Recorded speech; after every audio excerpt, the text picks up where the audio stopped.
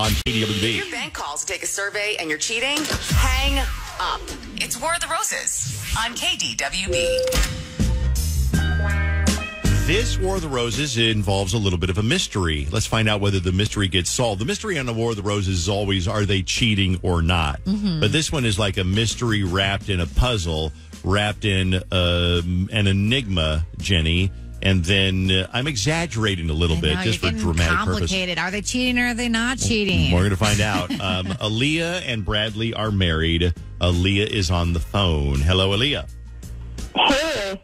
Talk to us about why you want to be on War of the Roses and the big mystery at your house. Yeah, um, so about two weeks ago, we got a case of wine delivered to our house. And we drink wine, but like definitely not something I would order. So we asked each other who ordered it. Uh, and both of us were like, you know, did you order it? No. Did you order it? No. Uh, didn't come with a note or anything like that. Uh, so we were just a little confused. That's weird. It kind of weirds me out, but but that happens Yeah. sometimes because we'll get a package. We even got an iPhone delivered to our house one time. We did not order an iPhone. Yeah. I got some Oh. sort of a bed fan delivered to my house, and and I don't. There's different reasons why people say they do it. Some people say they'll order something expensive because they want to steal it off your porch. Oh, okay. Um, uh, but oh. you got the wine, which is okay, kind of odd. Yeah, I mean, you know, it could have been that, or it could have been like maybe someone sent us a gift and just like didn't put the note in it, or whatever. The short version is we never really figured out who it was from. Um, but then this past Monday, we got another case of wine, Oh wow! and yeah, and so I'm looking at it like the heck, and and someone had to sign for it, and I happened to be home. Um, and so like not long after that, Bradley gets home, and I'm like, all right, let's.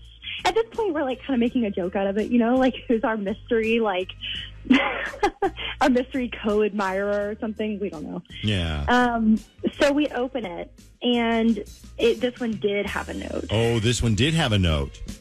Yeah. Okay. Uh, and we decided to read it like together. Um, and it's like burned into my memory now because it's such a weird thing that like how can I forget? Um, and the note just said, Bradley, since you're whining and dining my wife anyway, I thought I'd send you some more wine, you piece of shit. Whoa! Wow. Okay, so it says Bradley, you're you're basically whining and dining my wife. Here is more wine. Right. Peace. Yeah. Who's it from? Did they sign their name or no? Yeah. And this Oh, they did. where- Yes, and this is kind of why I'm calling you guys. So, backstory up until now. So, the person that signed their name is Jonah. And I've never met him, but Bradley knows exactly who he is because it's one of his coworkers' husbands, and her name is Jess. Okay. Yeah. And I'm like, okay, let's not get crazy. Let's give him a second to be like, what's going on? Um, and so basically, Bradley goes, yes, hey, like, we've gone to dinner before because we're coworkers, and that's it. And that he actually has usually gone with other coworkers. Like, it's out in the open. You know, this is not a secret, right? Like, he's not trying to hide it Yeah. um, from the coworkers, at least. Okay. Uh, and he's like, I'm not banging her or whining and dining her. You know, it's Texas Roadhouse. Oh, so they're going to this. Okay, so so I was going to say that that kind of comes into play. Like, you do go out to co-work with coworkers, um, and there are going to be people who go because there are guys and there are probably women like this too that get insanely jealous. Where it's like, wait, you went to have drinks with Bradley? Are you banging Bradley? I need to get. It's like, no, I'm not banging Bradley.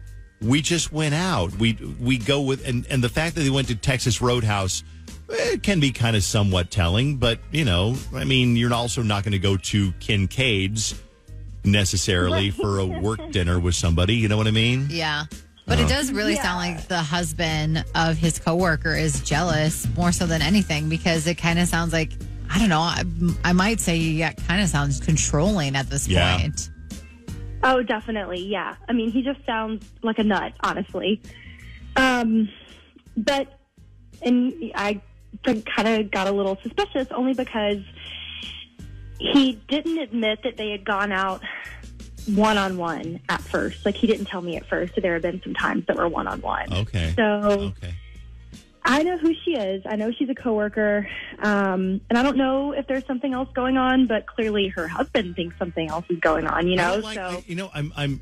You could go either way. You could be like her husband's totally justified, but her husband sounds like a psycho. To be honest with you, Right, because he's also playing a game with you and your relationship and your husband. Instead of just maybe confronting your Yep. husband like an adult would do, he's sending cases of wine. Well, you got to know that also this guy Jonah has asked his wife Jess, "Are you doing anything? Is anything going on with you and Bradley?" And she's probably said, "Absolutely not." Unless that one in a million case where they go, yeah, but you know, you got to, I don't know, you got to get over it. Something I don't know.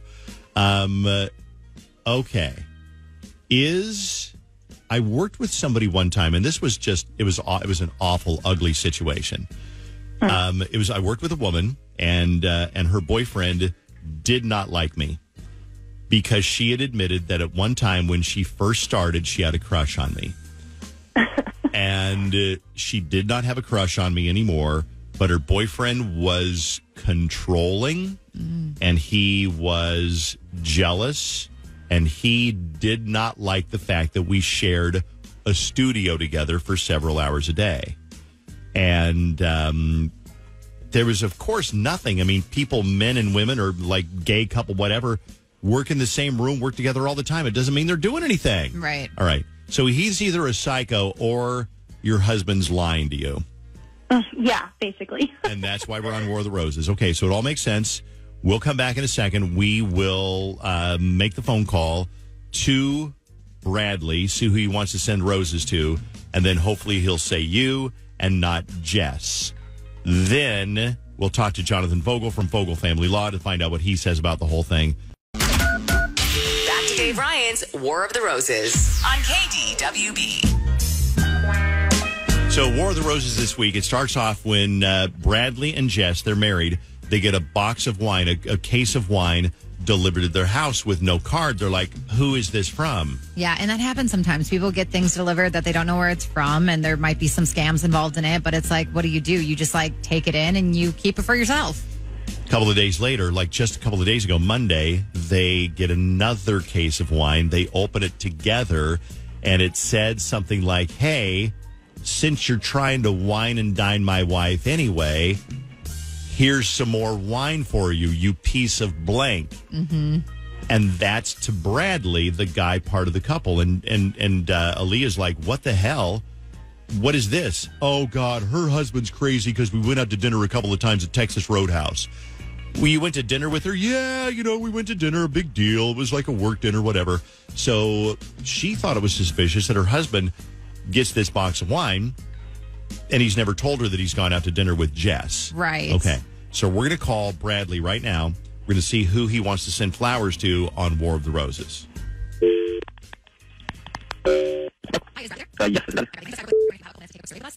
We're all done already. So, like I said, as a reward, I do have a dozen long stem romantic red roses to give to whoever you'd like. So, all I need from you is going to be the name of the person you'd like to send the roses to. Um, you can send it to, uh, if you're ready, Jess. Okay, got that down. Perfect. Can, can you send them to her work, actually? Yeah, that works. No problem. Can you just tell me where she works? Okay, perfect. Yeah, no issue there. So then also, I'll get those sent to her work. The other thing I was wondering is we can attach a card if you'd like. So if you want to put a card with it, you just got to let me know what you'd like it to say. Okay, uh, um, put the bishop says hi. The what? Yeah, the the bishop says hi. yeah, that's right. You, she'll she'll get it. Okay, got it. All right, let me. Let, I'm so I'm so many questions right now. Um, is the bishop referring to your junk, uh, Bradley, or well? Let me back up a little bit here. Okay, first of all, everything you heard is just a trap there's no flowers, there's no phone company. The survey was all fake, and and we were calling to see who you would send flowers to. When I say we, I mean mostly your wife, uh, Aliyah, who put us up to this to see who you would send flowers to.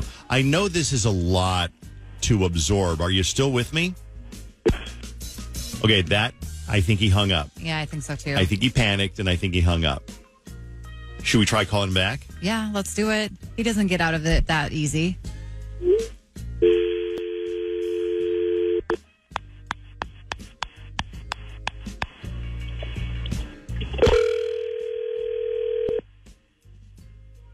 Leave your message for Okay.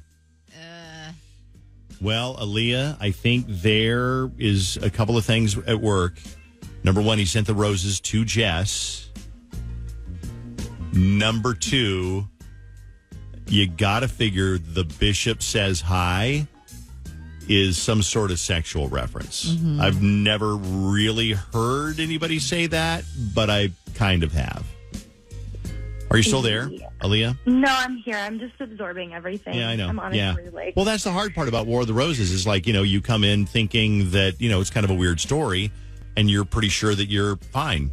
But then, and the third part that he hung up. Yeah. yeah, yeah.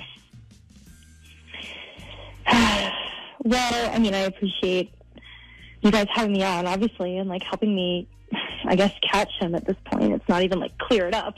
It's pretty well, clear. I mean, I'm not sure how much we helped, but at least you have some more information. Mm-hmm. War of the Roses on KDWB. This text says out of the gate with is the bishop your junk? Well, that was the first thing that I thought. That's the first thing that I thought about. Yeah. This text says, How did the other husband have their address? If her husband didn't involve HR immediately because some creep got their address, then he is guilty. Another one, oh my God, he calls it the bishop. Wow. okay. We don't have the bishop on the phone. We got the counselor on the phone, the family attorney, Jonathan Yeah, Fogel. thanks for not call, thanks for not calling me the bishop. I appreciate that. You know, it might grow on us a little bit later on, but we'll see. Jonathan Fogel, family attorney, always kind of a highlight on War of the Roses. Give us some advice on what you what you take away from this one. Jonathan's been doing this for a long time, and every time we put Jonathan on, he's like, "That reminds me of a story." What what does this remind you of, Jonathan? Well, this one reminded me when you talked about the wine, right? So there was this divorce in Maryland. This was some years ago. It wasn't my case, but another case. And uh, during the divorce proceeding, the parties had separated. Well, the wife broke into the husband's office. He owned this construction company. She broke into his office where he was hiding his two hundred thousand dollar wine collection. Okay, and she pulled up a truck. She loaded 3,500 bottles of wine into a rental truck and then sold them. wow. Yeah, and she left. She did leave one. She left one bottle of 1990 Dom Perignon Okay. in his office. And during the trial, he actually said, when he was asked about it, he said, "You know what? I'm going to keep that one. I'm going to drink it the day the divorce is finalized." Wow. So question, I mean, if they were they divorced at the time because isn't that her property to sell just as much as it is his or was that not the case? Well, so they were still married, but a lot of the bottles he had had this collection Oh. for years, even before they got married. So a lot of the bottles were premarital, right? So she did not have the right to sell oh, those. Okay. And even if she had the right to sell some of them, she tried to keep the money and say that she didn't do it, but there was footage of her coming into his office. and so the court ordered that they split the money. But the problem was is that the collection is gone. He had spent Yeah. years collecting these bottles and you know of wine which you know can increase in value over time the older the wine gets and the bottles were all gone they could never get them back but the money was there and uh so the, the judge made them split the money So it's interesting. So what you have before you go into a marriage, like let's say I've got like a classic car. Let's say I've got like a 92 Porsche. I don't know what that is, means. I don't know if that's valuable or not. I got a 92 Porsche. I marry somebody. That is mine. She doesn't get half of it when we get divorced. that's right that's okay. right Gotcha. Yeah So, So- let's talk about a tip that we can walk away from this with uh, that that might be valuable to anybody who's going through a divorce. Well, my tip deals with personal property, right? So people think of appraisals for like houses, right? We all get our house appraised if you're you're selling it or you're refinancing or something like that.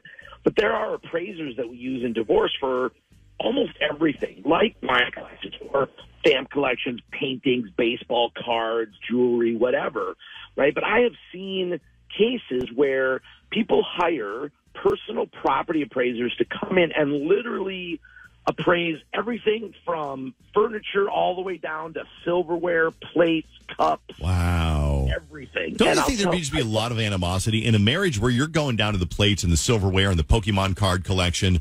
There's just a lot of animosity, wouldn't you think? Yes, I, I always say it's not about the plates. It's about some sort of anger that they have towards each other Mm-hmm. or something else because it's never about the plate. It's never about that.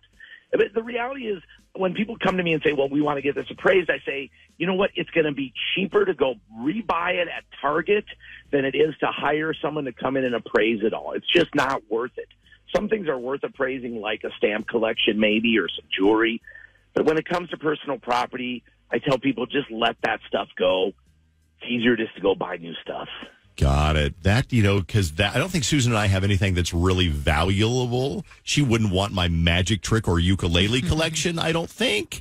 Um, Unless uh, she was going to be spiteful, then she'd be like, "Give me all oh, of them." and that's when it gets spiteful because let me tell you, when Julie and I were going through our whole thing 15, 20 years ago, there was a lot of spite Mm-hmm. and there was nothing that I could do about it. It was just like, okay, send me this. And I'm like, I don't want to send you that. And she would be like, well, if you don't want to send it, then go ahead, call your lawyer. So I'd call my lawyer and he'd say, I can bill you for 150 or whatever dollars it is an hour. You'll end up paying it anyway. Dave, just pay it. So I would just pay it. So I, and that's kind of sometimes how it works, right? Just pay it. Yeah. Sometimes it's better to take the higher road. It, it gets exhausting sometimes if you're the only one taking the higher road. hmm But uh, if you don't, sometimes you not you pay twice. You pay your lawyer and you pay the other person. You know, that's really interesting. Not to prolong this, but because I know you got stuff to do. But uh, speaking of taking the higher road, I know a divorced couple now, and they are both somewhat guilty of little digs here and there. And I'm like, man, just stop. No wonder they get mad at you, and no wonder you get mad at them because you take hmm. digs at each other every chance you get. Hmm. Yeah, yeah. Sometimes you know that that just doesn't help, and it, it may make you feel better in the moment, but in the long run, it's going to make you feel worse. Gotcha. Jonathan Fogel, doing family law for a long time. He can help you out whether you are initiating the divorce proceedings, whether you are responding to them, whether you're in the middle of one, you're going, you know what? And you do mediation too. Tell me more about mediation because that is something that a lot of people don't even consider until they talk to you and go, oh, yeah. So what is mediation? Yeah, so mediation, I, I do a lot of this where people will call me and they don't even have attorneys. They don't even need to have an attorney. They'll call me and say, hey, my husband or my wife and I are thinking about getting a divorce. We need a third party to help us facilitate an agreement. And we want you to sit down with us and work that out for us without going to court, without hiring attorneys, without having to hire experts. And, you know, I use my experience to help people figure out those issues on their own and then they can take that to court and get divorced without ever even having to hire attorneys. That's amazing. And probably a faster process too. Much faster and much less expensive. And also, you keep control in your own hands. With going to court, you're giving a complete stranger control over your life. With mediation, you keep that control on your own. Call Jonathan to find out more. Find his number on the website, fogelfamilylaw.com. Meet him on the phone, meet him at Caribou, meet him in his office, fogelfamilylaw.com, F O G E L. And we'll wrap it up with the phone number, Jonathan. How can we reach to you, uh, reach out to you? Yeah, you got it. 612 822 6244 is the number.